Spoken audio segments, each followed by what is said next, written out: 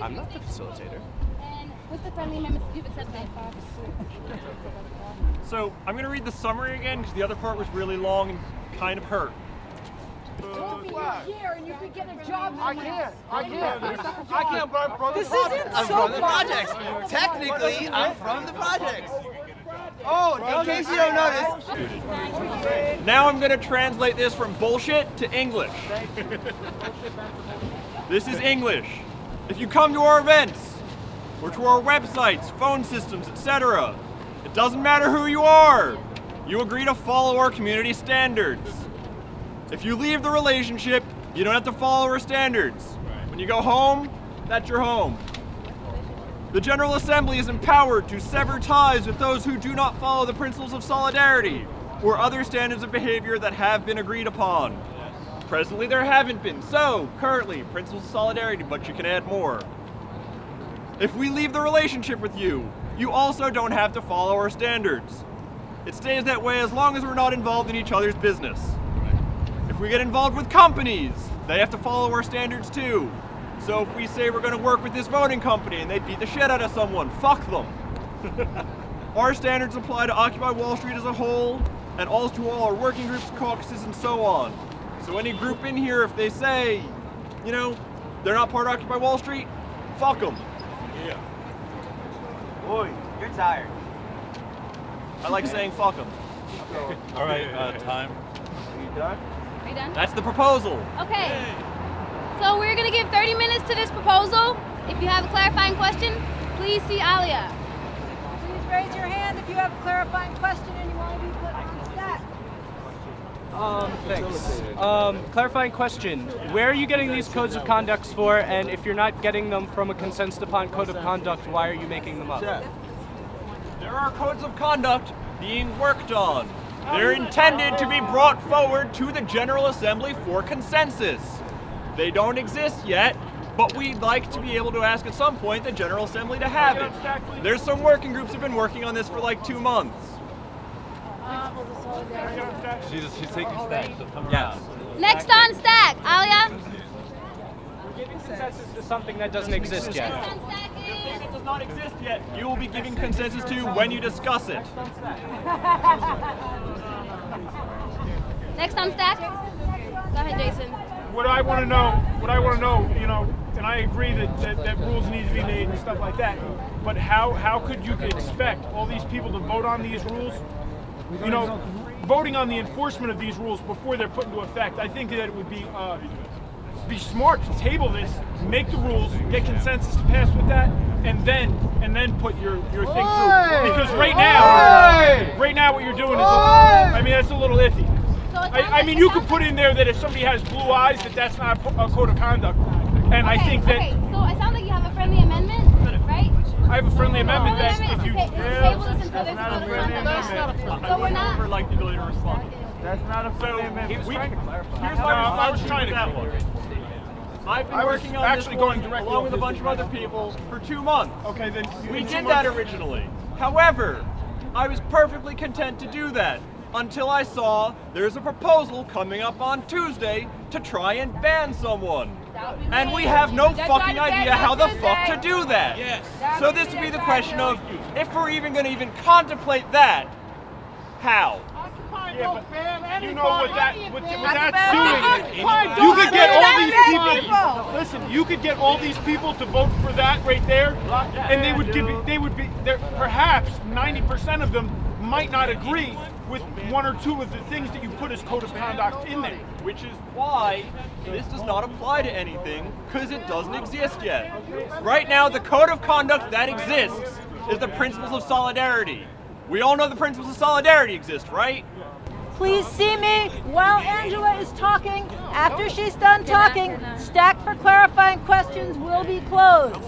You're unstacked. Have you guys put into consideration what Occupy DC is doing for the same situation? Instead of introducing a code of conduct, they introduced two new role, roles to their occupation. One of them being a dragon. A dragon is usually two appointed people that will circulate the crowd. They're de-escalators. They're the ones that calm the situation. The second option is if the situation really gets out of control, they take a timeout. And simply that way, you're not enforcing that people can't be part of the, uh, the assembly. We are the 99%. We're one unit. You can't make rules to kick people out. Then you're not including the 99% anymore. So, Then we're not the 99%. No, we're, we're going to be like the 96 at some point. Actually, I think we're We're gonna see up to 20 But I'd like to, to continue. We have de-escalation. There are some problems a couple people de-escalating can't solve. Case in point, there's a group in California starting in our name a fucking political party. Right. They want to run political candidates for Senate in California and say these are the Occupy Wall Street candidates. How are you going to de-escalate that? And we go back to the Occupy principles. Sure. We're a non-politically affiliated organization. Yes. Except they're saying we are non-politically oriented except for running for Congress. We are not politically oriented, but we're running for Congress. We have a contradiction. These things cannot both be true, and yet they're running for Congress. Logically, then, they're not part of Occupy Wall Street, but they sure are saying they are. What this is saying is effectively, if you say you are, that's great. If you say you are and you aren't, well, we should probably do something about that. So kicking people out instead of making a public statement and taking them out of our conversation. What will you Kicking say in that public statement? You make a specific Okay, okay, we're proposal doing, we're doing for a back and forth. Yes. We're gonna go That to is the not a next, we're gonna, specific proposal. This is the form for every proposal to follow it. Mic check. Mic check. Kicking people out of the occupation is not the solution. I don't care how you see it. If he's too high up class, too low class, how low, how how loud he speaks, what he's doing, what he's not doing. Kicking people out of the occupation is not. I'm not for it. okay, so next person on stack for clarifying questions is Echo, and stack is now closed. In addition to some of you who are sincerely here, there are people who are paid to be here to break shit up and slow us down. Exactly. Unless we hear a better proposal than what we are seeing right here about how to counteract the problems that we have with infiltration and contamination of a sincere movement, then I would like to see solidarity and support for this proposal. Thank you. And do I understand correctly the spirit with which you say not individuals but companies? And in th- those that's who are want out of here are people who are paid to infiltrate and break our shit down. you look around so- you; these are sincere people. Do I understand that correctly? Yes. To answer, however, there may be cases where we must use this on an individual. Brandon Darby, anyone know him? Anyone want him to be part of Occupy? Probably not. Tonier, if you Google Tonier Occupy Rapist, you'll find someone that I'd love to say is not part of New York City's occupation. But we let that guy back into housing, because we had nothing like this. Daniel was never part of Occupy Wall Street. He never was. He was part of the kitchen working group. He, he only volunteered one day. He never was. He only volunteered one day. Let's clarify the air. My clarified question is, Sean, I'm kind of curious. Since you and other other individuals, especially in Spoke Council, decided they basically decided to be the voice for this movement without the 299% that basically you guys been marginalized and um, mistreated the poor, the homeless. My clarified question to you: How many people wrote, um, sat down, or how many working group work with work hands on hands about this proposal? So, two months ago, we brought this forward originally I'm- for I'm- Spokes Council. That was six people, town planning, working on this originally to come up with the first draft. We showed up to Spokes Council, we improved it there. Everyone in direct action said they loved it, and we had about five or six other working groups who jumped on board then. And who are those five or six working groups? I don't remember. That was two months ago. I wasn't too worried about it at the time. Well, you should because you bring a proposal to basically Okay, this is ban into our, back and our forth. companies and individuals. So you should. So, okay, so now we are going to open up Stack for concerns. If you have a concern, please get on Stack.